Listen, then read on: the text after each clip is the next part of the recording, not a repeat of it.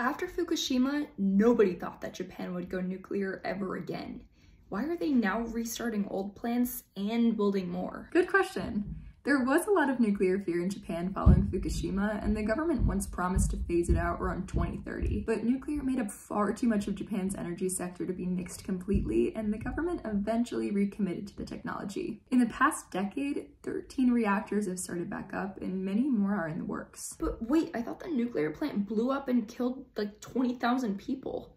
It's a horrible idea to put nuclear plants in a place that's prone to tsunamis. That's a common misconception. The tsunami is actually what killed 20,000 people, not the nuclear plant. During the disaster, there was an earthquake which triggered an automatic shutdown of the reactors. But reactors are hot, so they need a constant supply of coolant even when they're not running. The storm made Fukushima Daiichi lose power and their backup generators were in the basement, meaning they got flooded in the tsunami. Without power, the cooling systems failed and the nuclear fuel melted and caused a hydrogen gas explosion. There were actually two plants closer to the epicenter the earthquake that got hit with bigger tsunami waves, but they were both fine because they had their backup generators higher up. Damn terrible design flaw. I know, and the government was so worried about people getting exposed to radiation that they ordered an unnecessary evacuation, which was chaotic and caused way more harm than the radiation could have. If the residents had stayed, they would have gotten less radiation than a CT scan. The unnecessary evacuation was estimated to have killed around 2,000 people, but none from radiation. That's awful. So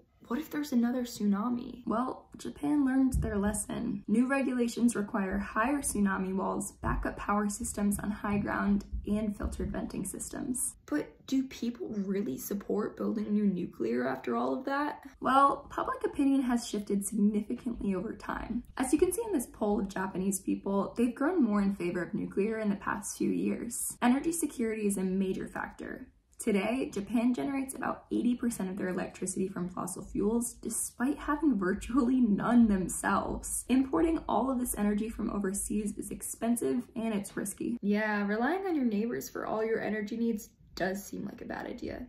Not to mention the climate impacts. Japan is committed to carbon neutrality by 2050, and solar and wind just can't do it alone. I guess nuclear does make sense for Japan.